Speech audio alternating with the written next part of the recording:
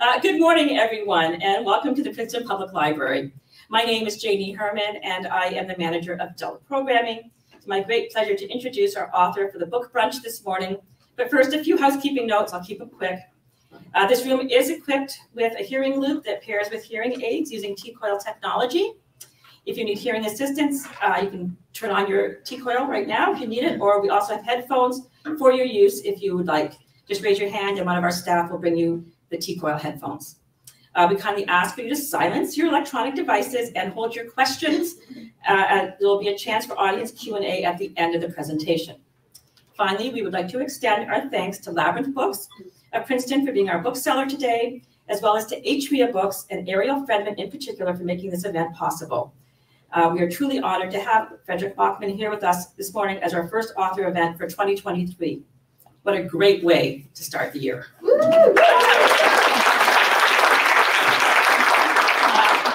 Joining Mr. Backman today as moderator is local writer Amy Jo Burns. She is the author of the memoir Cinderland and the novel Shiner, and I highly recommend both of them. Her next novel, and Sons, is forthcoming in 2024, and we already have her on the calendar for a book talk whenever that is ready.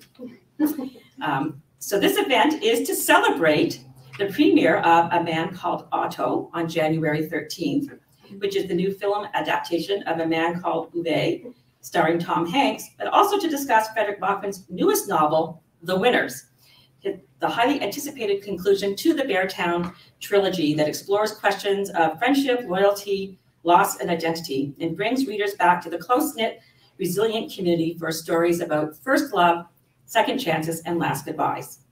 As I sat at the keyboard trying to figure out the best way to introduce one of my all-time favorite authors, I found myself wanting to write paragraph upon paragraph about how much his works have resonated with me since I first read A Man Called Ove when it came out, believe it or not, 10 years ago in 2013.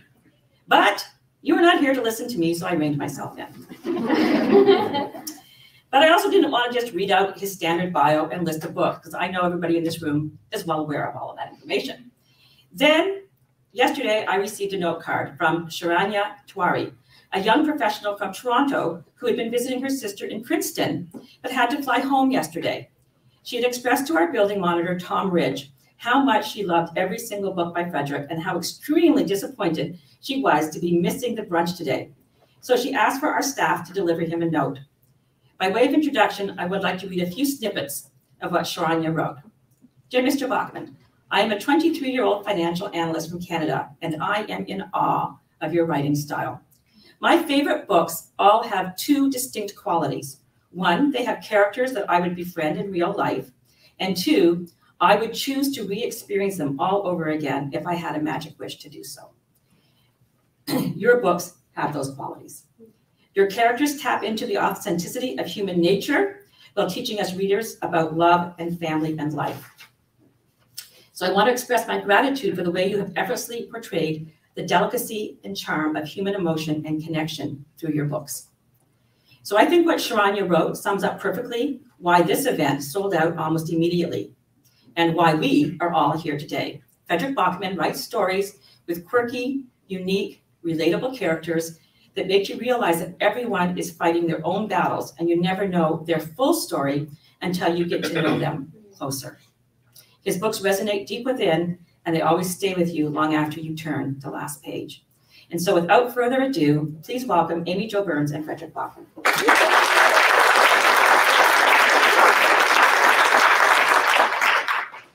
Hi, welcome to New Jersey. we are so excited, not only that we got to have you as the first event, as Janie said, of the year for the library, but, um, you know, I don't know if you're not aware, uh, Fredrik and his wife came in yesterday from Sweden. They're here for a few days. They're only doing, you know, two book events, and one of them happens to be here. The other one is later on in the week in New York City. Uh, but we are so excited and honored that we got to host you. So thank you to you and your wife um, both for coming. I'm going to jump right in because I have a whole bunch of questions, and I know you all have a whole bunch of questions that you'd love to ask Fredrik. Um, but since you know we're in a room full of your fans online as well, um, for anybody who doesn't know, could you just tell us how you got started as a novelist? Um, maybe the path that you took. Um, no, I probably couldn't because I don't know how that happened. Uh, it wasn't a plan. It was never. Um, I I never wanted to be an author. Mhm. I still don't. it's not my. It was never my intention. This this uh, the, the author thing happened. It was. That was a weird coincidence. It's. Uh, I wanted to be a storyteller. Mhm. So I think I could have stumbled onto anything. I think if, uh, uh, because when I was 25, 26 and didn't know what to do with my life, and at that point where people start telling you, like, you need to figure this out. Um, and I've been doing a lot of things. I had a lot of, I had a lot of jobs. I was an exterminator for a while. I was, uh, I was a, a dishwasher at a restaurant for a while. I, uh, I drove a forklift for a pretty long while. I, uh, fruit warehouse. I, um, did a lot of things. I studied religion for three years at Mhm. university. Uh, turns out that this, it's not, a- it doesn't take you anywhere really. It's not a profession at the end of that life. And, um, and, um, I just had this thing that maybe I can, maybe I can make a living from writing somehow. And I just figured that, well, I could probably write anything and make a living from it, and that would be better than driving a forklift. So I had no, there was no standard for me. I, I just, I did anything, and I wrote for free for a lot of magazines. Mhm. I just, I kept emailing people like, "Can I write something for you?" And I'm like, "No, you have no education, and we know nothing about you." And you're, I'm like, "I'll do it for free." All right, we have something, and this was, but I, I, but that was at a time. This is 15, 16, 17 years ago. So you do whatever, if you want to tell stories, then you do it with the things that are available to you at that time. And at that time, there were still magazines. Right. It's a very ancient thing. for the audience, but There were actual magazines. And um, so that's where I headed. Mhm. And, um, and then the blog thing came. Uh, no one blogs anymore now because everything is TikTok or whatever. But, uh, but at that time, the blog was new and no one knew what, what it was. It was like, this can be anything. Mhm. There are no rules. No one knows what it is. And uh, so I, uh, so I started doing that and, and just found that to be my little playground. Mhm. And that's how I, uh, so I started blogging and then I just tried to tell it was a lot of ad- it was a lot of dialogues between me and my wife. A lot of like me and my wife is in a fight about this, and I would recall the dialogue, and then people would write in the comments like, "We're siding with your wife." That was basically the whole idea of the blog. But uh, and then we had our first child, so I, I blogged about that. We got married, I blogged about that, and. Um, I found a little audience, and it wasn't that big, but it w- was a little audience that I could like bounce ideas off. Mhm. And uh, that's how I found, I, I tell people that's how I found the narrator voice for Michael Buba. Mhm. Like the narrator voice is the voice that I used when I blogged. Mhm. That's how I found that, because when, when young writers start, when you start writing a novel, the thing that you find to be problematic at first is that you don't know what the narrator voice sounds like. Mhm. Like who is who is the person telling the story? Like the invisible person telling us the story. What does that person sound like? How does that person phrase a sentence? And how does that like can that voice be funny? Mhm. Can that voice have a sense of humor? Or can only the characters have a sense of humor? Can can is it an unreliable narrator or or or is it just straightforward narrative? It's um, I found the narrative voice by writing the blog, and then at some point Ove was born in the blog. Long story, uh, and um, uh, and I figured, well, maybe I can try to make this into a novel. Mhm. but I was still just, but that was just still me trying to be, all right, I have this story, I'll try to put it in a book. Mhm. And if I, if I was 20, 29, 30 today, then maybe it would have been a podcast, I don't know. I, I, you know, there's different medias. Yeah. Um, but that's just how I went about it. Mhm.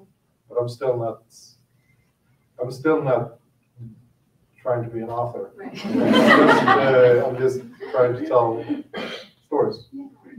Um, you know, it's interesting that, that you bring up this idea of the narrator and the personality because when I think about all your books, the, the narrator is sort of that, that person that doesn't really have a name but does have such a distinct personality in, in all the stories. And I'm thinking of anxious people. Um, and so, you know, you sort of start that novel like this is a book about, this is a novel about idiots, which I love. And um, by the way, no spoilers in case um, not all of you have read all the books we're going to discuss today, but if you haven't read Anxious People, it's it's a really perfect book for this time of year because it takes place at the end of one year, the beginning of the next, um, and it's about the unlikely hostage situation, uh, lovable bank robber, um, huge hit in the United States. Um, and I'm wondering, um, could you tell us what you think it is about that story in particular, those characters that you think resonated so deeply with so many readers? Anxious people. Yes. Well, the thing is that Anxious People was not supposed, you were not supposed to read Anxious People because I just wrote, I, um, we're not gonna make this into a three-hour lecture about my breakdown, but I had a breakdown. um, In two thousand and seventeen, uh, because I, it, it turns out I did not handle success and attention well. Um, and, uh, so I had a stress breakdown. Um, I thought, and then I went, I went to therapy, and my therapist said, "You do not suffer from stress." Uh, the the nurses at the ER on a Friday night, they suffer from stress. You suffer from pressure. That's something different, and we treat it differently. Uh, we go about things differently. Um, uh, but I, uh, but I had anxiety issues, and I had to go to therapy, and it was a long, very long journey, uh, and complicated. Uh, my therapist had to listen to me. I had a lot to say. Um, and he now has a very nice little summer house. Doing very well. And, um, but, but in that, during those therapy sessions, that, there was a lot of things that came up, but one of the things was that he told me very early on that you don't like yourself very much. And that's gonna be a problem. That's gonna be a problem wherever your life takes you, that you do not like yourself very much. Uh, and I had to go back and home and think about that and come back the next week and say, you know, this is why, uh, this is why I'm not very good at leaving my family. Like my kids and my wife, they're fine with it. They, they don't care. But, uh, but I can't, because my breakdown came after a US tour. Um, no offense. Uh, because I had, because that was just such a weird thing to me, because I, you, you, you become a writer, you, this is a very long answer, I'm sorry about that. No, want to hear it. You, you become a writer, you spend eight hours a day alone in a room with people you have made up, Yeah. uh, who exist in a place that doesn't exist Mhm. other than in your imagination. And, um, and then someone tells you, you know what you should do? You should go on tour. You should meet people for a living. Uh, That's not, very, very seldom, I think, that's compatible traits. Uh, so I, but I did, and I went on tour, and I had a lot of panic attacks, and I had a lot of lying on the floor in the hotel room and calling my wife and saying, I don't know what I'm doing, I, I, I I don't know who I am, and I don't know this person that they want me to be, I don't know who that person is. And this is a very strange experience, and, and, and uh, I couldn't handle it very well. So that was the beginning of the, of the breakdown. And I went to therapy, My therapist got a boat. And uh, I came out of therapy and I had this feeling, and I, I had written at that point five novels uh, and a couple of novellas, and I had just I had written Beartown and Us Against You, which was, and I had this idea that it was going to become a trilogy, but writing the first two and that that just took everything out of it. And uh, there was a lot of research, there was a lot of listening to horrible, horrible stories. Uh, I felt a lot of pressure. I felt a lot of responsibility to tell these people's stories in a good way. So I had, I, I carried a lot of that around, and um, uh, and I was just lost uh, and, and very. Uh, my wife and my kids described, well, you went to bed and you slept for two weeks, Mm. uh, and then you came up and, and, and you know you started to become a human being again. But I uh, I didn't think I was going to write again at that point. So I started writing Anxious People as a writing exercise. Like that was my all right. I I'm not going to be able to write again ever possibly, but if I am going to write again, I think I need something to just get me into writing again. So I started writing Anxious People like a writing exercise.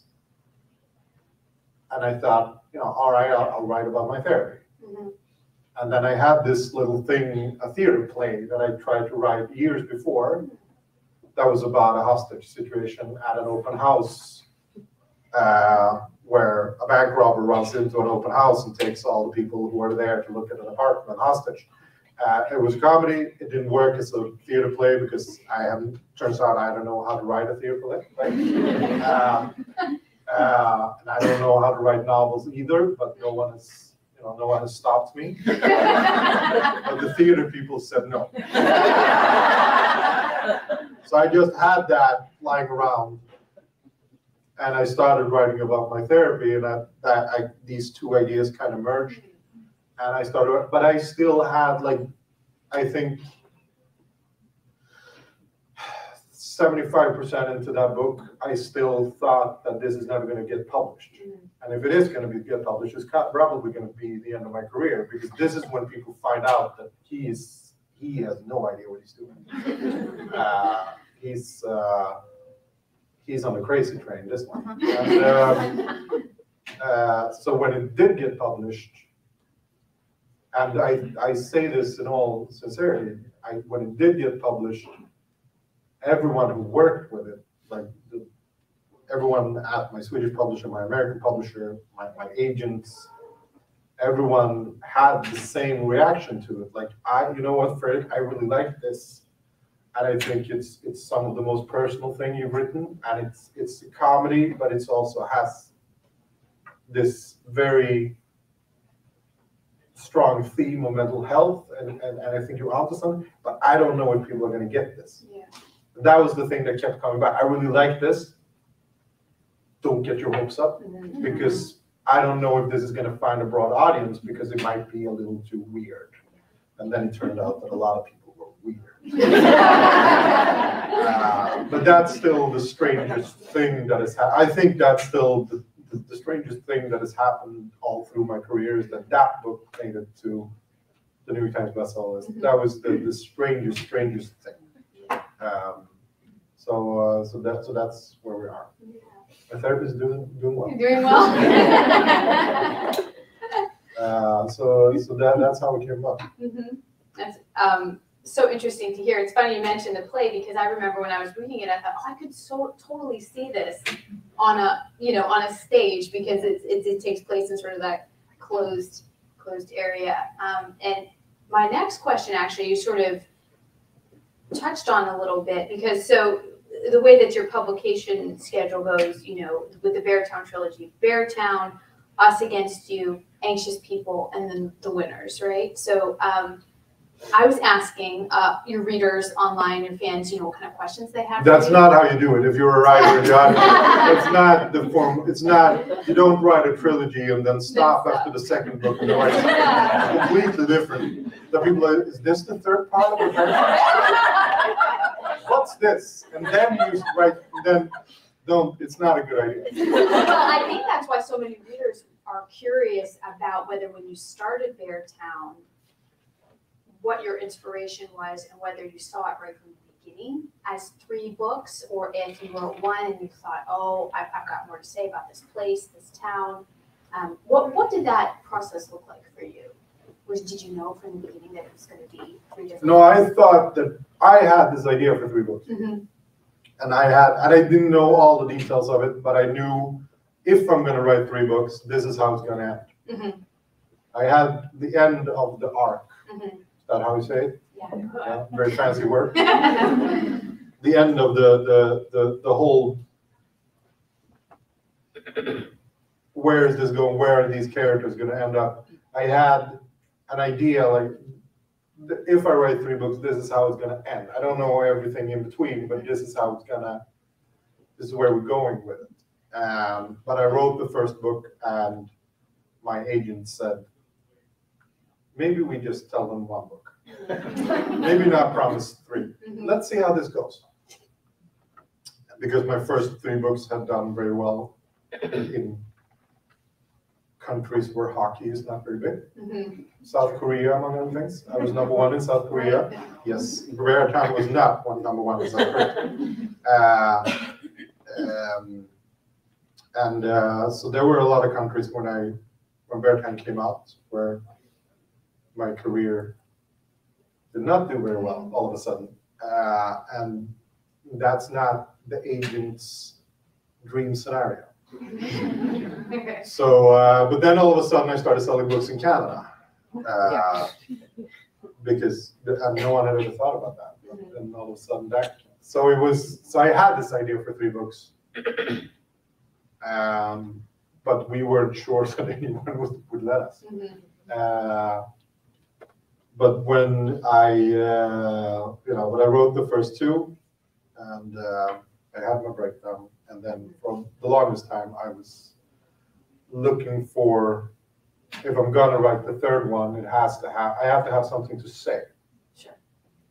There has to be something that I want you to know that I feel is worth your time, hopefully Mhm. because you are because you can spend your time on a lot of things. You can watch Netflix or learn a language, or go for a nice walk, or you know, there's there's a lot of things that you can do instead of writing reading my book. And um, and then this became 700 pages. So apparently I had, had one or two things that I felt I wanted to say. Uh, um, but Beartown, the whole trilogy, the whole idea came from me basically wanted I wanted to tell a story about sports, and I wanted to tell the story about the very, very best parts of sports. Yeah. Because I wanted my wife, who is the least interested in sports in the world. Second, my, my father is less interested in sports. She is. Um, I wanted her to understand why it was important. I wanted to try to tell a story to someone who's not into sports. And I wanted to see, can I tell a sports story to someone who's not interested in sports and still, and make you understand why, why this is important to a few crazy people. Um, like, why do people behave like morons when sports are involved? Like, why is it so? Um, so I wanted to do that because sports to me is like I found sports and books at the same time because I don't like reality. So I, when I was five years old, I figured out that all right, sports and books, these are my things because they are not real. They are not. You go Tolkien and, and Lord of the Rings. That's basically the same thing. Like we know that elves and dwarves and knights and monsters and wizards. We know these things doesn't exist, but it feels real to us. And we know that this game here between the blue and the red team, and they're gonna put the ball in whatever and everything. There's a social contract. We're fifty thousand people in the stands. There's a social contract. Like all of us, we're gonna we're gonna pretend that this is important. We know it's not. We know it's not. We made this up. This is all made up.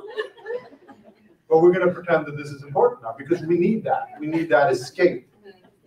Because this, the real thing, it's a little too overwhelming sometimes. So we need, we need to go here and pretend that this is important for two hours. and that's going to be our little release. And uh, I wanted to tell a story about that, and I wanted to tell a story about a community because I look for small universes. I look for one street or one house, or and in this case, one small town. And I wanted to tell a story about how people are interconnected Mhm. and how frustrating that is because most of the people are morons and how how you are, you know, centered around other people. And uh, so so that's how it came about. And that's why the most important line I think all through the trilogy to me is what is a community? It's the sum total of our choices. Yes. That's what the trilogy is about. I could have just said that. It was no. And so when you sit down to write, when you have an idea for a book, do you, are you somebody who likes to outline? I mean, think about all your books, the thing that's so exciting about them is that it's, they're surprising, that the plot's surprising, the characters are surprising, and yet it's so believable. Like you get to the end and you're like, we were always headed here, even though I didn't quite see it. So when you sit down to write, do you have a process you follow? I mean, do you surprise yourself when, when you're I wish I had a process. Me too. Process sounds very nice. No, I know because I share an office with a the most gifted writer I know, um, which is very frustrating at times. Uh, he's called Niklas Natt och Dag, weird name, but he has um, his book is called The Wolf and the Watchman in the U.S. Uh, and it's historical fiction. It takes place in Stockholm in the 1800s, and it's a murder mystery, but it's in Stockholm in the 1800s, and everything is historically correct because he is he is annoyingly intelligent, and um, he has he has a process. He has spreadsheets, and he has you know he has a board on the wall, and they're you know like like serial killers have. He has he he outlines everything so in so much details mm-hmm. and he has so many books that he goes through. I mean everything is historically correct and everything. And i just have everything in my head mm-hmm. which makes my head a little bit messy at times and me probably not easy to live with because there's a lot of that going on in my house with my kids like that focus uh, because I, I live somewhere else. I, I'm in my head. So I know there's no process. It's all my head. Uh, it's chaotic. Uh, for the longest time with every book, and this is not, I'm not exaggerating, with every book, for the longest time, the process is me going around feeling I'm never gonna pull this together. Oh, I don't know where I'm going. I don't know what I'm doing. Whatever I did before was luck. mhm. Um, I can never pull this off again. The people who liked my previous books are gonna hate this book. They're gonna be really disappointed. And that's a real, that, that dark hole that you go down, it's real. And it doesn't matter how many times you, you can be on any bestseller list you want. It doesn't matter. It doesn't matter. That's not how anxiety works. It's like people say, but you're so pretty. Doesn't matter. Doesn't, that's not how anxiety works. Right. Like your mom will tell you, but, but just don't think about it. That's not how anxiety works. It's the dark hole is real, and uh, so for the longest time, I have this feeling that this is never. I'm never gonna make it. It's never. go- I'm never gonna figure this out. No one is gonna like this. Mhm. And then you reach a point where you've written so much, you care so much about it. It becomes real to you, Yeah. real to you, and you feel, all right, I'm gonna finish it for me. No one's, that's what happened with anxious people. I'm, no, no one's gonna read it. If they do, they're gonna hate it, but I'm gonna write it for me because now I need to get this out of me, because it's real to me. And that's where something happens. As soon as you reach that point, you start writing for you, that's when something happens. And all of a sudden, something clicks and something happens and, uh, and, and you're onto something. And all of a sudden you, oh, I know it's gonna end now. Or, oh, I know, I'm gonna rewrite it now. But in this, I know what I did wrong. I know, I know what it is. I know what it is that I want, to. I know what I'm looking for. but you're out there searching. Uh, and that's what writing is to me. It's not, it's not having a spreadsheet. Uh, it's not, you know, I I don't work in a bank or at an advertising agency or, or I don't go into work with this, well, this is a project and this is the, you know, we have a spreadsheet, this is the, this is a presentation that I did yesterday. And We're gonna show the, the, you know, the board members. That's not how, it's just chaos, chaos, chaos, chaos, chaos, and then all of a sudden something clicks. Uh, That's the whole process. It's not very useful information. Wants to write, but that's what it is. It's just staying at it. Yeah. It's feeling really bad about yourself and feeling that your writing sucks. But keeping at it, that's the whole, that's what I tell young writers all the time. Like, Do you have a, do you have a group- like a writing tip? Yeah, keep writing. Mm-hmm. Because if you keep writing, you're gonna, because ninety-nine percent, ninety-nine point nine percent of everyone who has ever told me, I have a great idea for a novel, they never finish that novel. Ninety-nine point nine percent. You have a great idea for a novel, good for you. You know what a novel is? Finished. That- That's a novel. That's it. Everyone has a great movie idea. Everyone has a great TV idea. Everyone has a great movie idea. Everyone in the world have at some point, you know what would make a great movie? That everyone. So to beat ninety-nine point nine percent of the competition, all you have to do is stay at it. All you have to do is go up the next day and keep writing. And the next day, and the next, that's how you beat them. That's how you get ahead. It's not, I don't, there are so many people in the world who have more talents Mhm. than I do. So many. So many. Unbelievable amount. It's overwhelming at times. I go into a library like this, it's like, why would anyone in their right mind pick out one of my books out of all this? You could choose anything and you chose mine. Why would anyone do that? It's incomprehensible. It makes no sense. Um,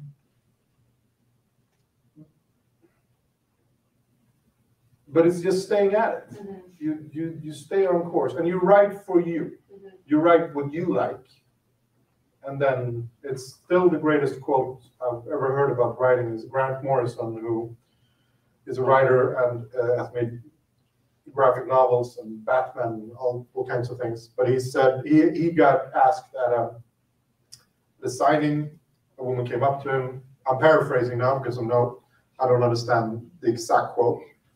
And this is on YouTube now, so someone is gonna everything. But I'm paraphrasing, but she came up to him and she said something along the line of, how is it that you that I have never met can write something that makes me cry?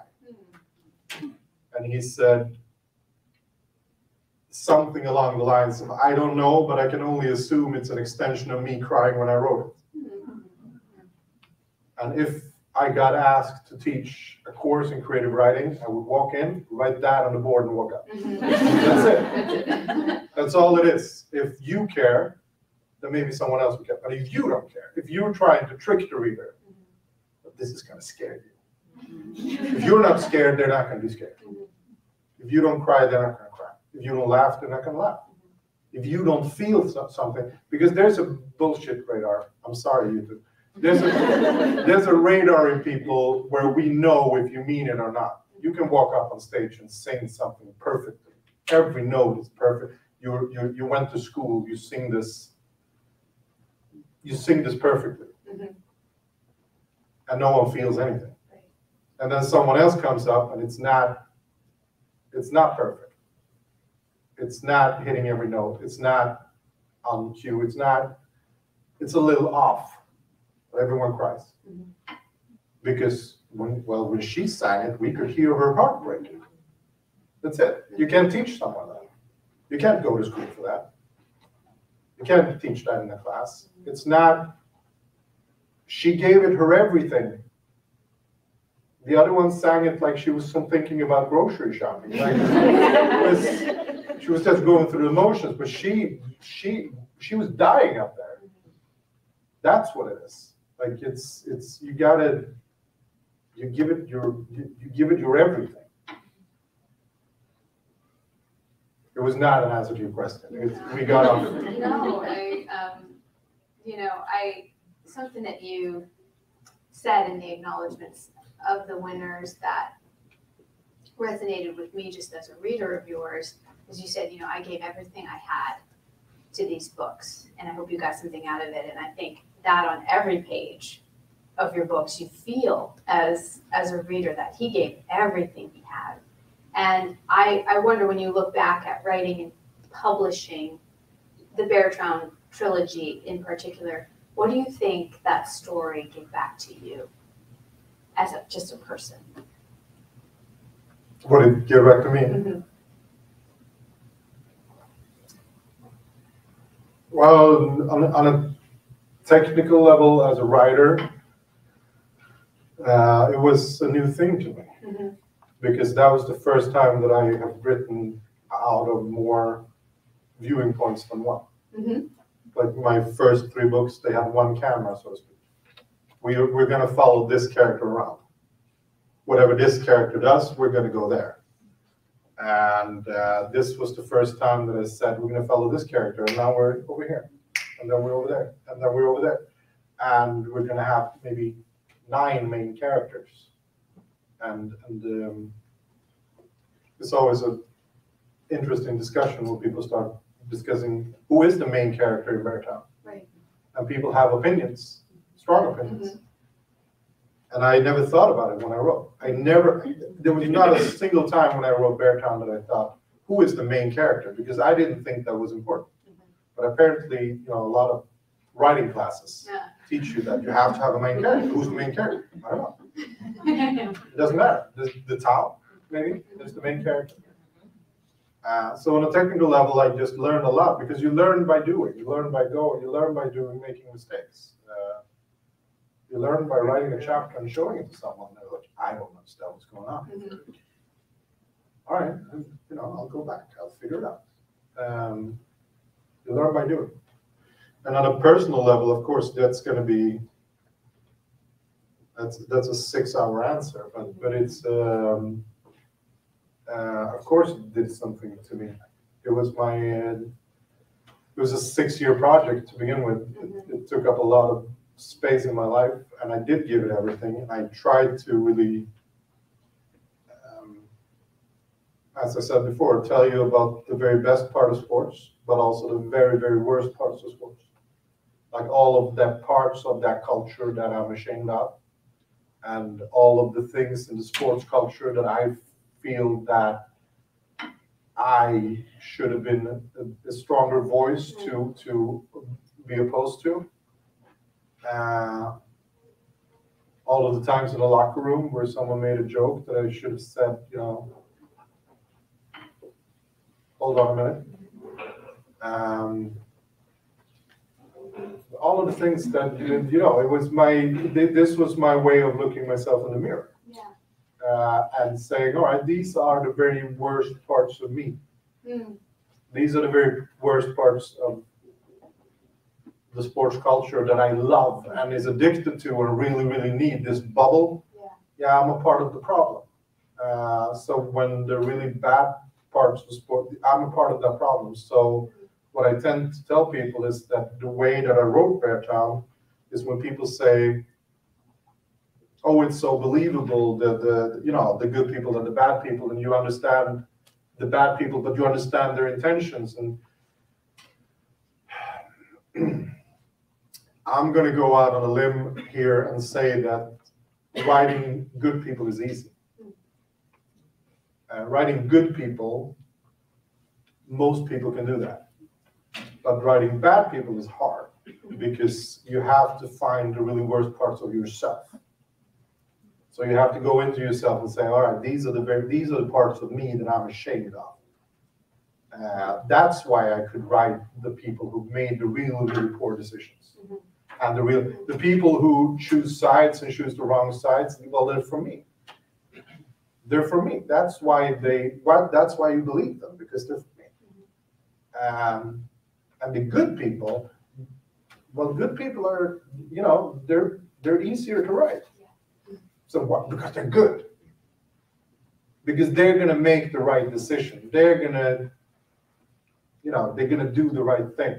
But the people who make, the, the people who at heart are maybe not bad people, but make very bad choices and end up on the wrong side of something because they believe that they're defending something they love. Well, here's where it gets complicated. And you have to find that in yourself. So it's, um, so that's why I have to people, you know, I'm not a, this didn't come from me trying to lecture anyone. It didn't come from me trying to be, you know, the, the, this is a story about good people. There are very good people in the story, but it's mostly about normal people, fragile and, and complicated and, and flawed, and they make very, very poor decisions. And I try to tell you how uh, someone who is trying to be a decent human being maybe views themselves as a decent human being like I do, but looking back, oh, that was a very poor decision. I was on the wrong side of that. I should not, I should have been over there. But it was hard and it took too much courage maybe. And all my friends were over here. All the people I grew up with and all of my neighbors and everyone else was over here. So, but I should have been over there, but it was hard. And it was too hard, it was easier to be over here. So I stayed over here. Uh, that's what the story is about. So I, I, that's what I took, I, I think it was, uh, this was my coming of age thing. This was me becoming a parent and, and, um, it took six years. I mean, it, my kids were three and six when I started writing it. They're nine and twelve now. You know, we went through a lot. Uh, my my daughter started playing football, our football, not your football, the rest of the world kind of football. Uh, she started playing football. She played. I mean, during the course of me writing Beartown, I was the assistant coach of her football team for four and a half years. That was our whole life. Yeah. It was our whole life three, four days a week, it was just packing bags, we're going somewhere, gonna, you know, gonna go play at, you know, four and a half years, that was a lot, and we had that whole, and that, all of that is in the winners, and I didn't know that when I was writing Beartown, that that was gonna happen, but all of that, all of that went into it. And, um, all of that experience, and all of me you know, which which ended after four and a half years with us being at a game and a lot of adults behaving in a way that me and my daughter looked at each other and said, "This is not for us. This is not for us." Uh, and uh, so part of that, I think, the title of the winners came from that moment when she she left the field and we just looked at each other. We went to the car, we sat down, and she said, I don't think I want to play anymore. And I think, you know what? I don't think I want you to either. Because this was just, they were, I don't know, seven years old, eight years old. And the parents are screaming like it's the World Cup. uh, and, uh, you know, one, a seven, eight year old falls down and loses the ball, like makes a terrible mistake, falls down, stumbles and falls down. Worst moment of that kid's life. And the other team scores. And 70 parents go like, yeah! They're like, that's a kid, like that's a, that's a seven year old lying there. Like that's that's a child lying there crying now. What are you doing? Like what what's going on about? Yeah, we scored.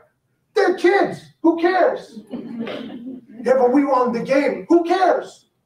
Who cares? It doesn't matter. It's made up. No one cares. What are you gonna tell me when this kid is an adult, like twenty-five years old? Yeah, but we won. You remember when we won that game? Yeah. You know what? That that's the day I became a winner. And that's why I'm a hedge fund manager now. That's not how life works. It's not, but this was a teaching moment where you could, you know what you could have done? You could have told the other parent to shut the hell up and you could have gone over to that kid and helped her out. That's what you could have done. You know, that's that's when we stopped playing football. This is on YouTube now. This is gonna this is gonna haunt me. But but we had that's when I you know this is a very very long answer. I'm sorry about that. But that's kind of where the title of the winners came from, because my daughter left the field and we just looked at each other and we felt this is enough for us. Like it's gotten too serious. And we went home, we went, we sat in the car and we talked about the way that we love practice. Yeah. Me and my daughter, we, we have that. And I played, you have to understand, I played football for my entire life. Mm-hmm. I played football from, from when I was uh, five, six years old. I kept playing when I was like 23, 24, when you're not supposed to. When there's, I I don't know what you call that in the United States, but there, there will be like a, a league of, uh, you know, Yeah, intramural rec league, something like yeah, that. you, you, you play in a park, basically. Yeah. Yeah. And every, every time someone like injures their knee for life. Um, But that, you know, I, I, I love the sport, I love it. But that was just the point where we looked at each other, me and was like, we like to practice. We like to, you know, we like being in the car after the game, going for a hot dog. That's the part we like. We like having like, you know, I, I like, you know, I, I bought a Ford Explorer with the seven seats. Like I enjoyed having like a bunch of kids in the car listening to horrible music and going someplace and them being happy and excited. Mm-hmm. And a Saturday morning, like six thirty, I enjoyed that. That that was my that was our favorite part of it. But the thing, like the game, who cares who wins? Like who cares? I don't. It's you go in, you do your best, we compete, but it doesn't like you know, 50 parents screaming over there. We would just know, no, thi- is this what it's gonna be like now? Yeah, this is gonna, this is what it's gonna be like every time. This, this is not for us. And then I talked to another parent afterwards in our team.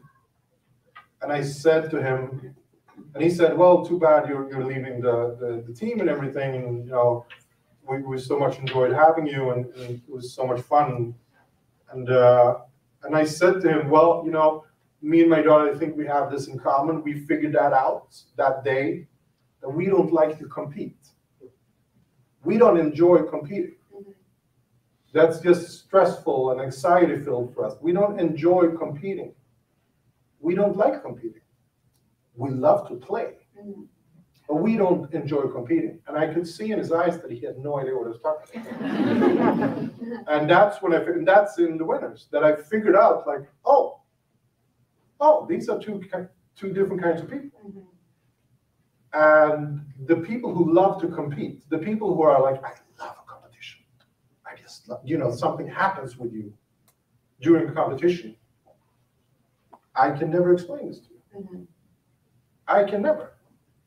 Because it's just because there was a goal scored and you were excited. You could not contain yourself. Right. And you were there for your kid. And you felt this is the greatest day in our lives.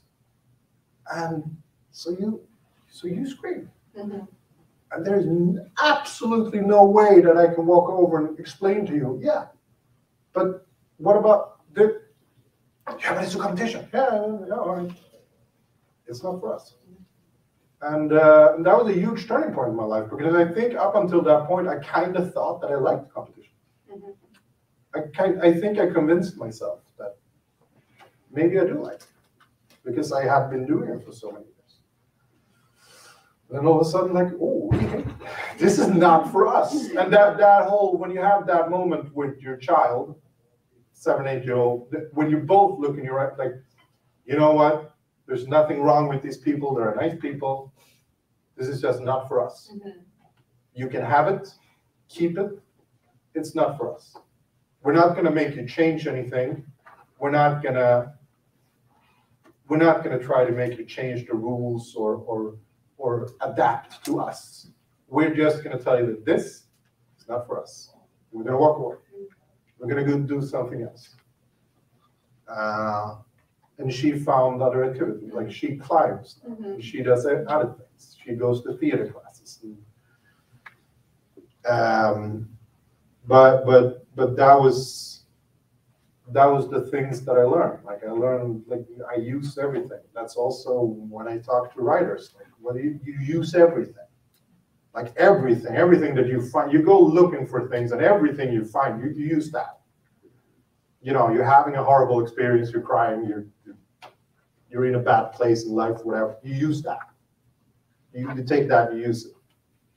You hear a funny dialogue at the grocery store, someone is in, a, in an argument, you use that. You steal that. Okay, so I think we are ready to move on to the question and answers. I think, I'm pretty sure the audience has questions and answers. We're gonna run microphones to you so that both the listeners at home can hear the questions and those on the audio loop can hear it. And while we wait for the first, put your hand up and Kristen or Gail will bring you a microphone.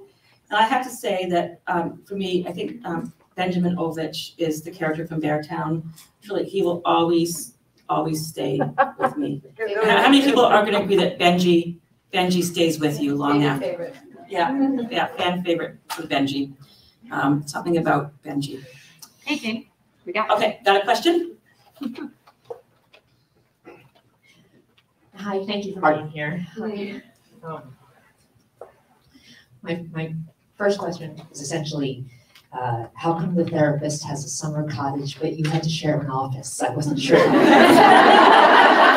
of connected, you think about it. It makes sense after. That makes sense now that I'm standing here. Um, 2017 was a hard year for me as well, and your books got me through it. Thank you. Um, I wanted to know how you felt once you let all those characters out in the world, whether it was Benji or whether it was Ove or it was Britt-Marie or anybody. Once you put them out in the world to the rest of us, what was that like? Um, to then suddenly hear strangers talking about these wonderful characters, these wonderful people you've been living with for so long. What was it like to hear it on a critical perspective and also on a, on a fandom level as well? It's the critical uh, aspect of it is easier. Is my short answer. It's easier to because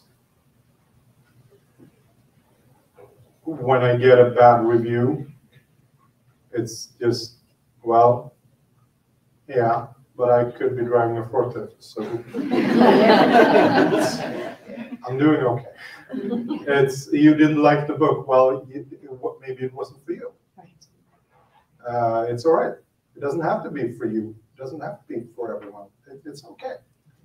Um, I've had some very nice people walk up to me at signings, like, oh, I really love this book. This, not so much. And I'm holding the book. This, not so much. It's just, the critical part, you, you get used to that. And I think my perspective, my wife helps me a lot with that. Yeah, but, you know, yeah, yeah. You could be driving a forklift. This is not a real job. You know, get over yourself. Um, but I think the other part is, uh, the personal part, uh, is a little bit overwhelming at times. If I'm gonna be honest with you. Um, one, because it's not, and it's not always connected to me, but people come up and talk to, about anxious people because they were going through mental health issues themselves, or they had someone very close to them commit suicide, or whatever it was. And that's now intertwined with my book. So when they start talking about my book, they start talking about that event in their life. And it becomes very, very raw and personal. And that can be overwhelming at times. And it can be overwhelming. Mean, it can be um, with Benjamin Ovich, it, it was, um, I felt a lot of responsibility. I felt a lot of pressure because he meant so much to so many people. And people wrote emails that was, was just the most personal things that I've ever had. And, and um, so it becomes a little overwhelming at times. Uh, and uh, I think with the winners, it was, so that was a kind of a fight that I had to try. And I have to finish this the way that I thought about it to begin with. Like I have to stay true to the story and to me. And some of you are not going to like me for it, but I have to stay true to what where I was heading with this. Um, but but that's um, so um, so so a little overwhelming at times. But the critical thing, it's you know you, you get it. Thank you. You're my favorite forklift driver ever. Okay, one from this side of the room. Here we go.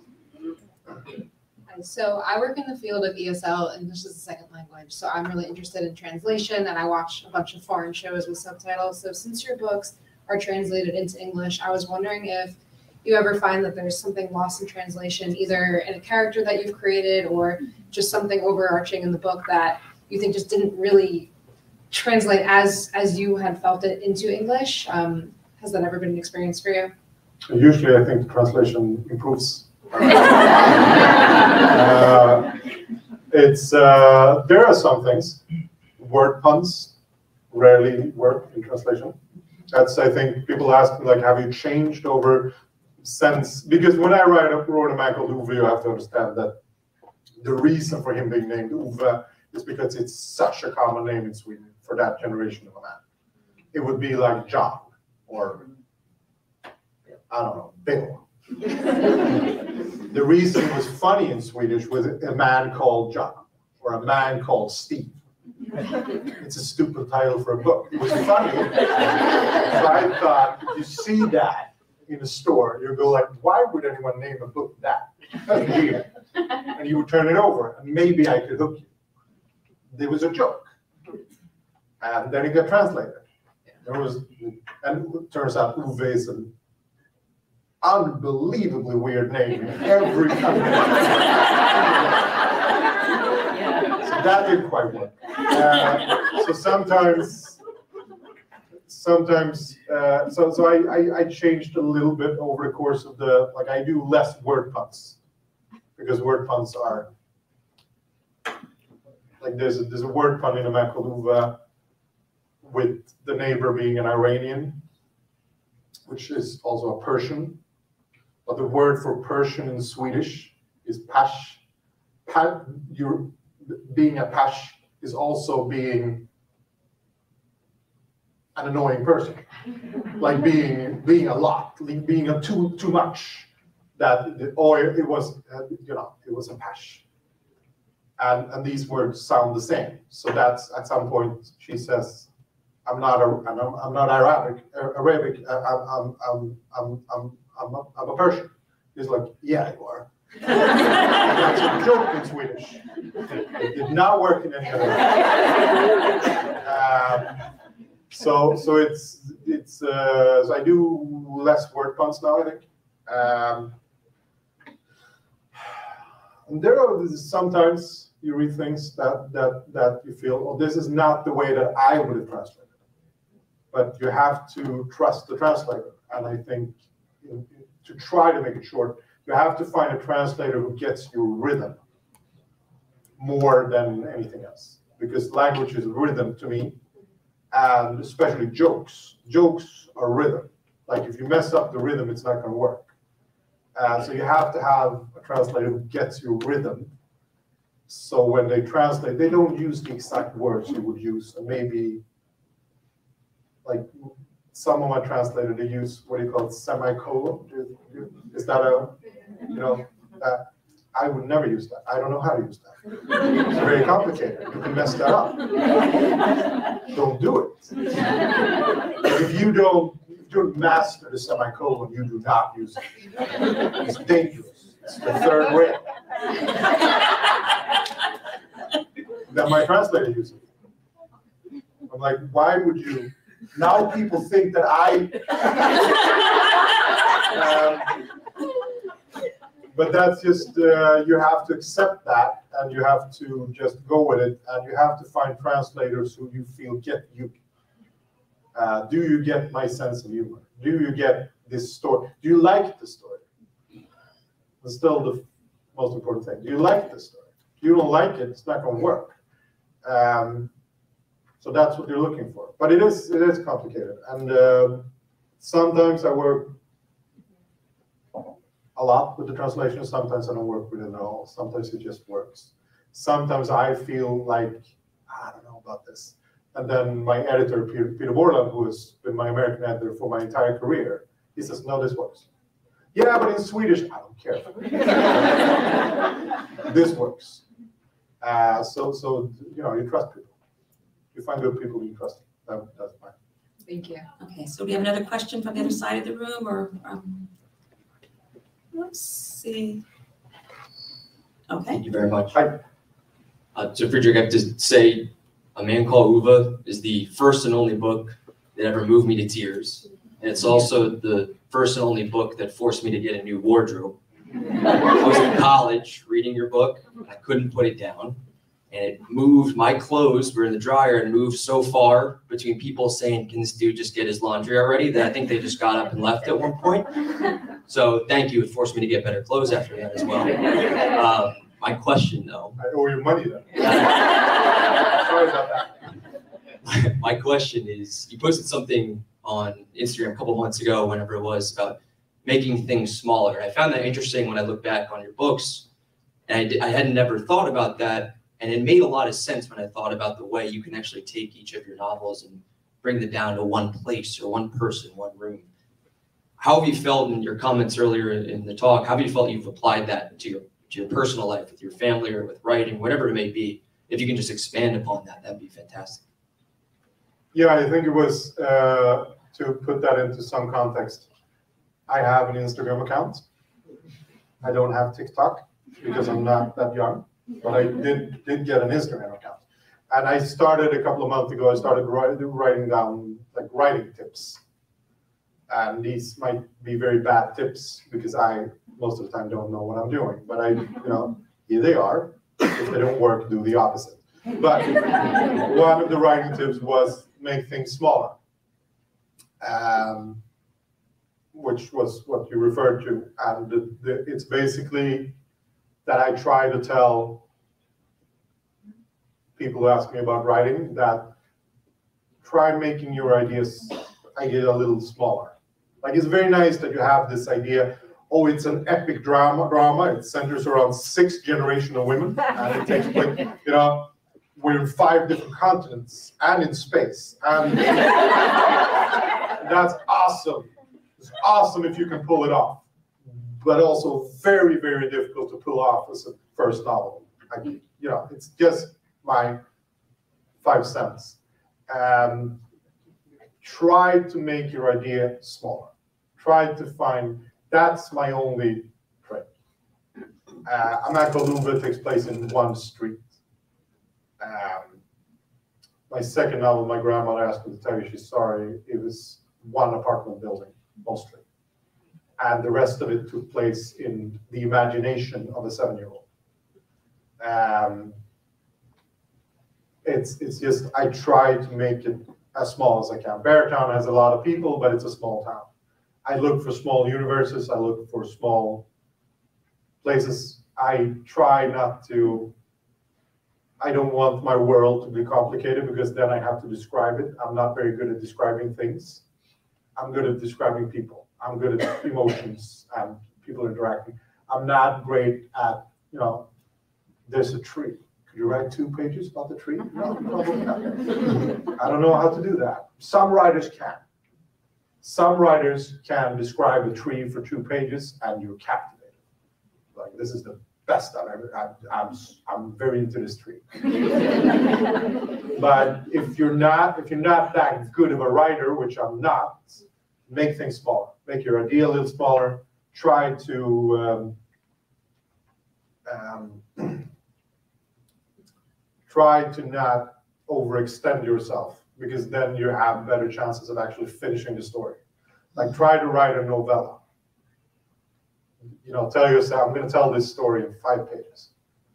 Then, you know, tell the story in five pages and then expand it and expand it and expand it and expand it. And then all of a sudden it's 700 pages. But, but, you know, but start somewhere. Don't, because otherwise you're like, yeah, I've been working on my novel now for 11 years. yeah, you know, maybe maybe take a break, write a novella, and just finish something because you have that sense of accomplishment. And I think that's very important if you want to be a writer. That once in a while you have to give yourself a little. I finished this. I can now go show it to people and say, this is not a work in progress. This is something I finished. It might not be very good, but it's something. Here you are. That's how you get going. That's my Okay, so I think we'll do one last question, maybe from the middle, since we've had, done all on the sides. Okay, This is my fault for not being, I'm, I don't know how to answer short. Your answers You have to, yes and no questions. your answers are perfect. So I'm curious why the winners is not about soccer. When you've spent your whole life in soccer, what made you pick a different sport to explore for that trilogy? Uh, why I chose hockey? Yeah. Uh, how much time do we have? All right, two very short things. The first is that hockey, hockey was the only sport that I didn't play as a kid. I played everything, but my, my parents worked a lot. So the deal was you can do any sport you want as long as you can get there by yourself. And I couldn't get to hockey by myself because uh, you need a lot of gear you need, you need someone to give you a ride. So, uh, so I played everything else, but I love hockey. I'm obsessed with hockey.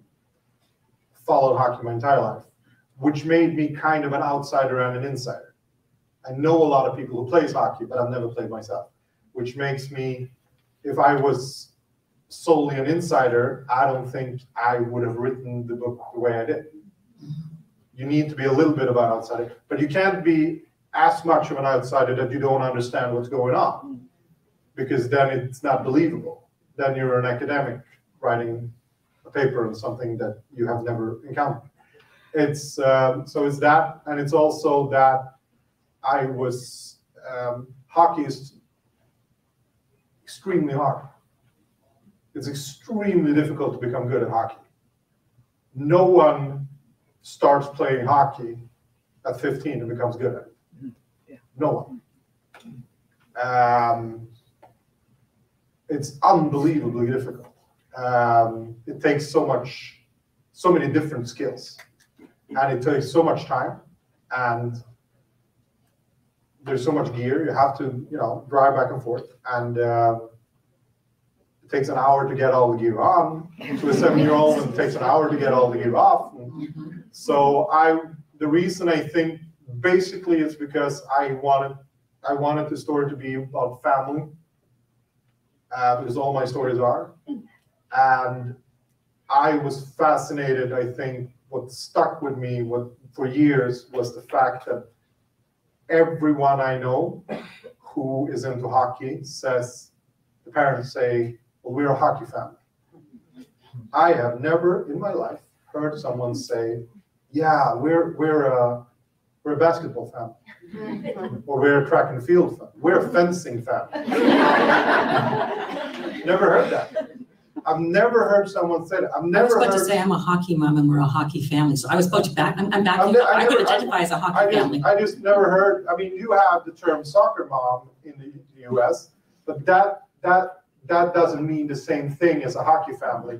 Being a hockey family means we have zero time for anything else. You know, we're a hockey family, it means I don't have time to be your friend. We will never, I will never ask you. That's what it means. It means one of our kids started playing hockey, and now the entire family plays hockey. You know, the, the, the other siblings, they're not that into hockey, they're still, they- it's still what they do. What was your childhood like? Well, I was sitting, freezing, watching my brother play hockey. That's my, that's my childhood. It's, it takes everything, like everyone has to be ev- all in.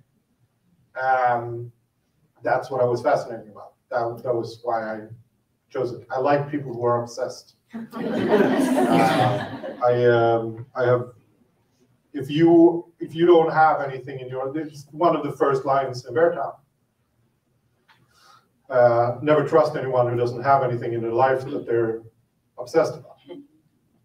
Like if you don't have anything in your life that you're a little too interested in, we have nothing. So, so that's what I look for. That's, so, hence hockey. And I think we were talking uh, just before we came out um, in the back, because I grew up in Canada, um, and about hockey culture and how pervasive and how much Beartown is what put um, Fredrik Backman on the map in Canada was because that was the book that Canadians understood. They understand hockey culture. And uh, that man, Ove, man called Ove didn't take off in Canada until Beartown came out. And then they're like, oh, here's a guy that writes about hockey. We'll get behind that. You gave me the tip that I should write a book, book about curling. Yes. If you really want to hit the Canadians, do the curling. Um, So anyhow, thank you both so much for a wonderful conversation.